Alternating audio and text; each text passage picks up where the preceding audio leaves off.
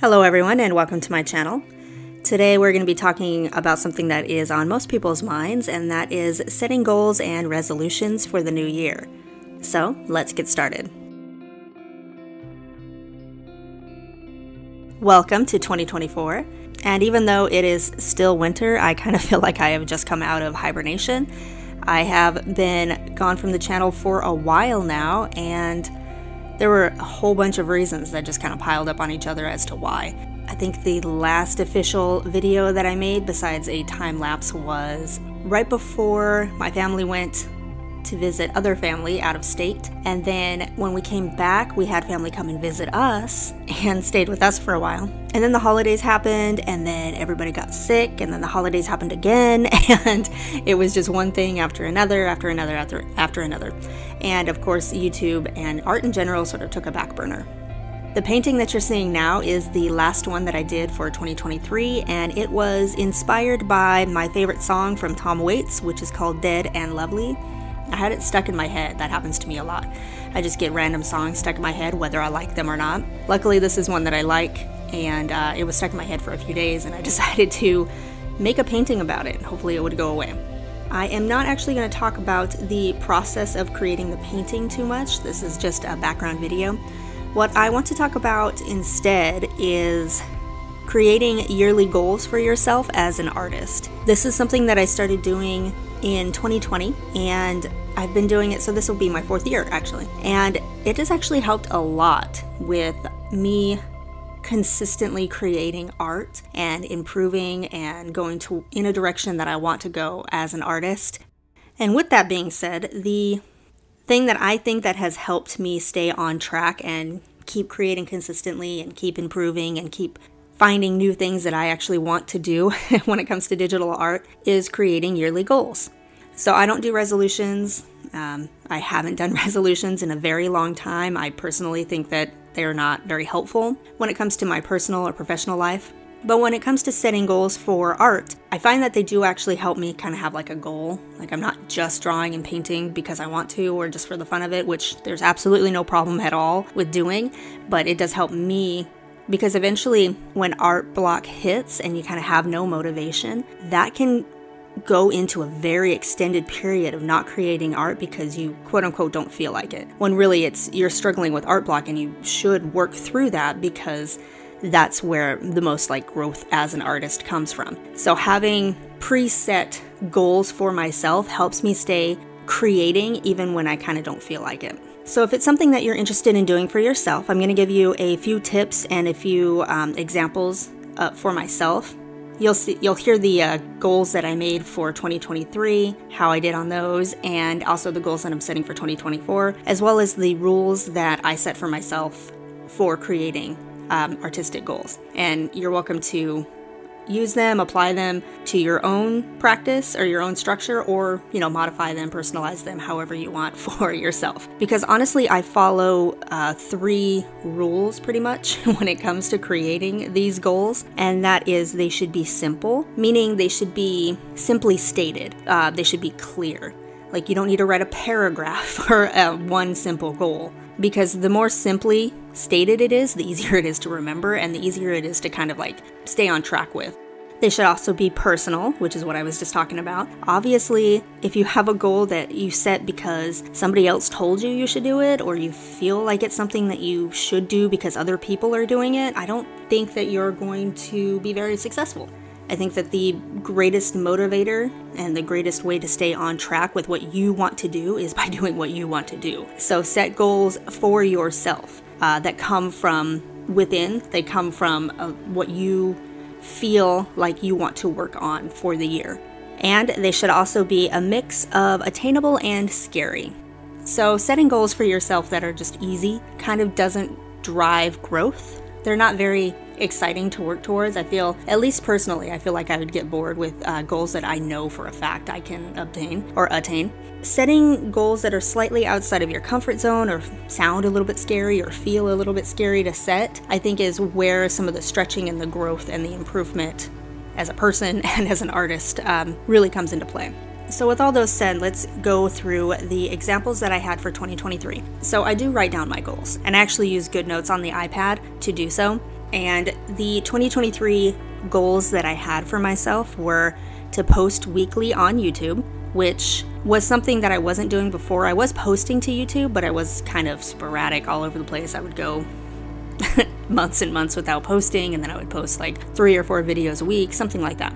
So, setting myself a goal to post weekly on YouTube sort of drove me to have a more consistent uh, posting schedule, which sort of kept me accountable to myself, to like creating the art that I wanted to create and to kind of sharing my thoughts and my processes and things like that about it. And it had a side effect that I wasn't expecting because when I set the goal for myself, it was really for myself. And um, it made it so that my YouTube subscriptions actually grew. And again, thank you to everybody who did subscribe in 2023. Um, I was completely unexpected and very, it was a very pleasant surprise. Now, of course, I didn't completely succeed in that goal because, as I mentioned, the last uh, two and a half months I have not posted because life. But up until that point, I actually was doing very well posting weekly to YouTube, and I do hope to carry that momentum into 2024 and again just resume the weekly posting. And that is one thing that I haven't mentioned yet, but it is okay to fail at these goals.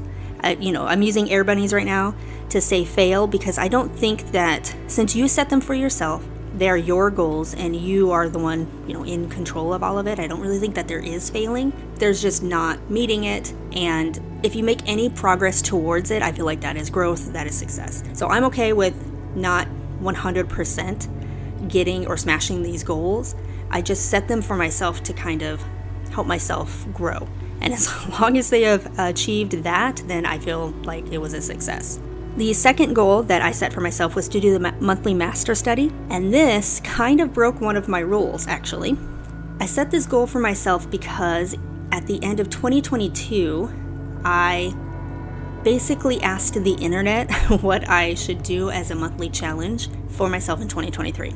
So I do monthly challenges to keep myself again creating when I don't feel like creating and to also help myself learn new things and uh, sort of improve and grow as an artist. But in 2022, I actually don't remember what my uh, challenge was. I'll have to go back and look at my notes and I'll put it down on the screen. 2022 was coming to a close and I wasn't entirely sure what I wanted to do for my monthly challenge. So I posted on my Instagram uh, for ideas and I gathered a couple of ideas that I thought were interesting. And then I created a poll. And the topic that won was master studies. So sort of I thought that I wanted to do it, which is why it was a part of the poll in the first place. But in the end, the internet kind of told me that I should do monthly master studies. And I started off really strong with that, and I was like, yeah, let's do it. That sounds fun. And then I got very bored. I think it was uh, July or August that I was just over it. I was just bored doing master studies and I stopped. So, again, a goal that I did not completely uh, attain, but I did do a lot of master studies. I did learn, and uh, it did help me push through a couple of uh, instances of art block that I had throughout the year. So it served its purpose, but because it wasn't a goal that I had set myself and it wasn't a goal that I was able to maintain excitement over, it was definitely a goal that just kind of faded away for me. So this year I'm going to be setting myself my own monthly challenge goal. And then the third goal that I set for myself was to refine my art style, which is sort of a nebulous goal. This is one that is kind of hard to tell. Like, you are the arbiter of whether or not you were successful at that, which is okay because I personally do think that this is a goal that I was able to um, successfully complete because mostly throughout um, 2022 I was playing with a whole bunch of different styles, just trying out different things, doing different subjects, playing with different uh, workflows. And in 2023, even through doing the master studies, because when I did master studies, I was trying to imitate the medium that the uh, original painting was in, which I think almost all of them were uh, oil paintings. But I was able to embrace my own um, love, I guess, of digital watercolor and sort of emulating watercolor and marker and ink um, through the digital format. And that is refining your art style. Uh, it's one that I have always, always been drawn to, literally since the very early days of my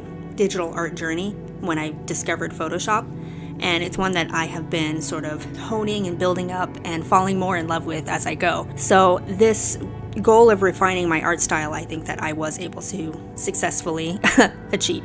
Now, onto the 2024 art goals. And again, these are just examples. These are so that you can start uh, generating ideas if you don't already have some for yourself, because it is January 4th now, so you might already have some. But uh, 2024 goals that I have for myself are to build up my Patreon content because at the towards the end of 2023, I did create a Patreon, and the goal and plan for it right now is to have a hub where I can place content that is a little bit more uh, permanent, I guess you could say, and a little bit more long form. I know that the um, I guess, trend right now for all of online content is short form, short form videos, short form like blurbs, you know, tweets, even though it's not called Twitter anymore, that kind of thing. But I, at, I guess at my heart, am a rambler and I want a place to be able to have like blog posts and things like that. And I also want a place to be able to upload free resources for uh, people who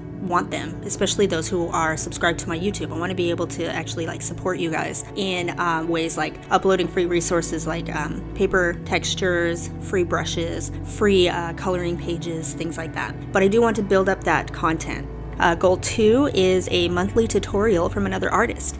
This is my monthly challenge for myself. I, speaking of Patreon, I am a patron of about five other artists that I absolutely love, and I have to stop myself constantly from hitting that uh, subscribe button or become a member button on Patreon because I don't have a bajillion dollars to spend every month on it. But I love following other artists. I love learning from other artists how they go about doing things, their processes, um, and their workflows. And right now, I just kind of follow and then don't do too much with it. So, what I want to actually start doing is completing once a month at least, completing a full painting that was done following another artist's tutorial and then sharing that. Not necessarily sharing their tutorial because most of those are behind paywalls, uh, but sharing what I learned and the end result.